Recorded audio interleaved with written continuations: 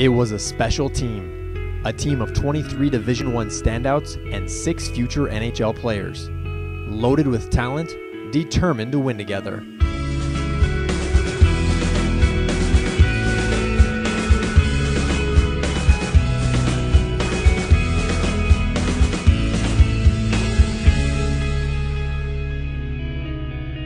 Ten years ago, the 2003 2004 Tri City Storm didn't know what to expect as the season started. They returned 11 players from the previous year, a season that finished with a sub 500 record and fifth place finish in the division. But new head coach Bliss Littler brought in new players like Rastislav Spirko, Jake Obermeyer, and goalie Peter Mannino to be teamed up with returning players like Bill Thomas, Tom Pohl, and Mark Van Guilder, and it proved to be a winning combination. However, despite winning their first four games of the season, the Storm struggled out of the gate. They lost several one goal games in the first half of the year and found themselves unable to string wins together. Littler's team even lost four straight games in early January, but then, like the flip of a switch, everything changed. Tri City reeled off 15 wins in 17 games including a 10 game winning streak during the month of February.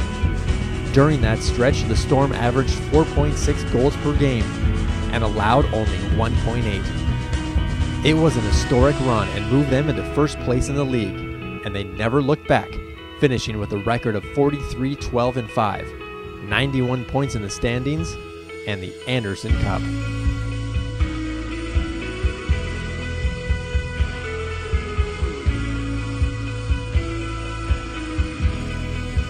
Ten years ago, a group of future stars came to Kearney, Nebraska, and wowed a new fan base of Storm faithful. And hockey in the heartland was here to stay. Tonight, we salute this phenomenal group of young men who will always hold a special place in the hearts of all Tri City Storm fans.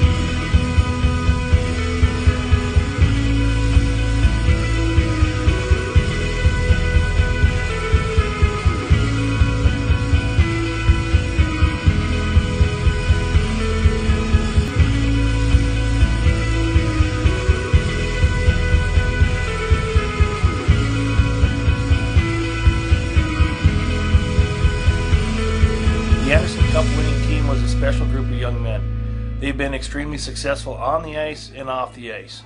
On the ice, they've gone on to win national championships. Some have gone on to play in the National Hockey League.